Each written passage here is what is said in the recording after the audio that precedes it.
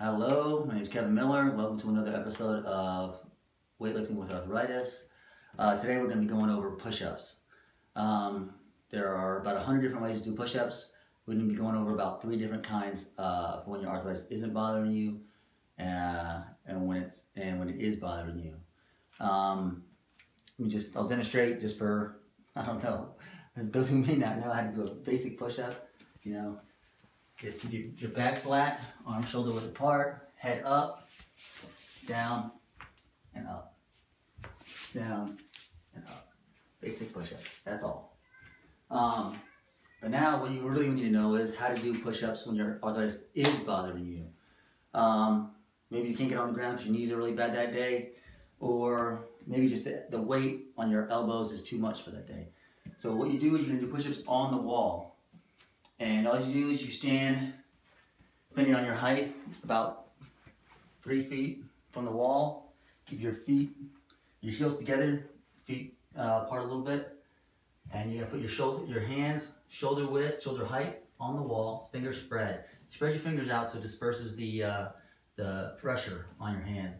And you're just gonna go down slowly, and then back up, like you're touching your nose up, against the wall. And that's it. And uh, if that's too much, you can't do this, that's too much for whatever reason, you can just go halfway and back up. And if it's, it's just, and the repeated motion, you don't even have to do repetitions. If the repeated motion is too much, then just go down and hold it. And that way you cut down on the repetitions on your, on your elbows. And then go back up. And that's it. And the key is that might seem too easy, but on a day when your arthritis is real bad, then that'll help you to get some exercise in while your arthritis is bad. Because arthritis is going to try to tell you it's not to do anything, to sit down, take it easy. But you know, if you've lived with it with it for any time, you know you have to keep moving to make you feel better. Um, so last, uh, another way to do push-ups I'm going to show you is called a dive bomber. And what you're going to do is you're going to be making a sweeping motion with your chest against the ground, like a like a plane doing a dive bomb. Um, so what you're gonna do is you're gonna start, the starting position is the position normally, you know, you see other people do when they're tired of push-ups. You know, once you're tired, you're doing push-ups and you get tired, so you do this to rest. Well, that's your starting position. You're gonna start like this, your heels are gonna be down. And as you as you do the motion, your heels are gonna, you're gonna come down on your tippy toes. Start off like this, and you're gonna sweep the ground. Get on your toes, Straighten out that tricep. And back, back to your heels are, are almost flat. And then back again.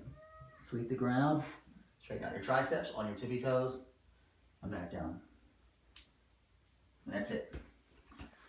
and that is a much better, much harder way to do push-ups. Um, I just want to give you one last tip. Um, uh, day maybe you want to focus on triceps, but you're tired of the same old, same old. this is a, a, a, modified dive bomber to only work your tricep. It really just focuses all the, all the attention on the tricep. And this starting position is going to be your hands down here, like about uh, where your where your shoulders are, and you're going to be trying to keep your heels as flat as you can. And again, just like before, you're going to be coming off on your tippy toes. So basically you're just doing the second half of the dive bomber. So heels flat, you're gonna be hands where your shoulders should be, and extend and go extend your tricep and you get on your tippy toes. And back down. And back up, extend that tricep, back down. And when you're down, your chest is gonna be, your hands, your shoulders and your chest are all gonna be in line. One last time, heels flat, chest in line with your shoulders and your hand, and extend your triceps and get on your tippy toes. And that's it. And that's all. You can see that's pretty, that's a pretty good exercise, pretty tough.